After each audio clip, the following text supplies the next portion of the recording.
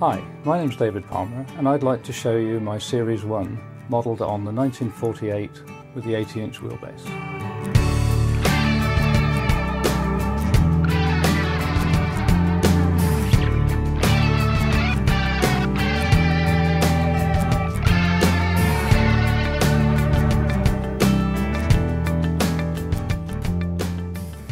Each model comes on a plinth, uh, they're all serial numbered and the serial number is repeated on the plaque.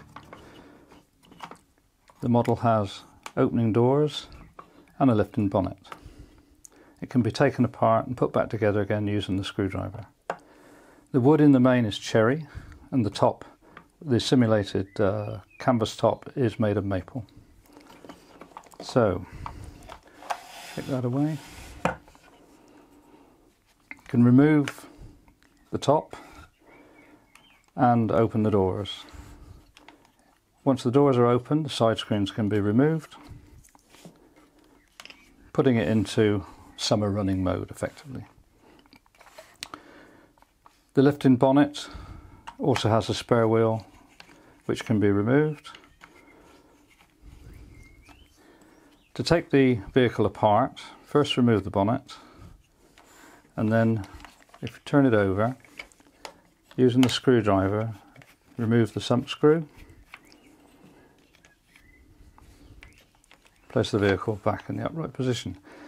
This allows the front section to be lifted off and by holding the doors in place you can ease the bulkhead off as well. The doors can then be removed as can the floor pan and the seats. Turn the unit over again and this screw releases the rear section. Each of the wheels runs on a wheel hub so by removing the screw all the wheels come off exposing the hubs and axles and the rest of the chassis complete with its uh, springs uh, encapsulating the axles. To put the unit back together is the reverse of the process. So the rear section goes on here with the screw to lock it in place.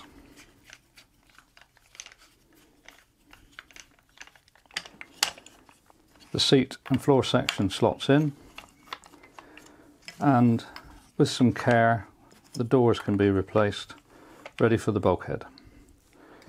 And the bulkhead has a block here which goes in over the front axle. It has a tunnel here which captures the floor but most importantly the two holes here capture the uh, hinge pins on the doors.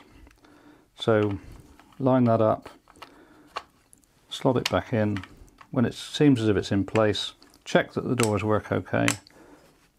Replace the front section, turn the unit over, slot in the sump screw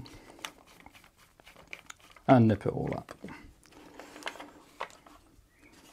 Replace the bonnet, open the doors, refit the side screens, and the canvas top. Series 1.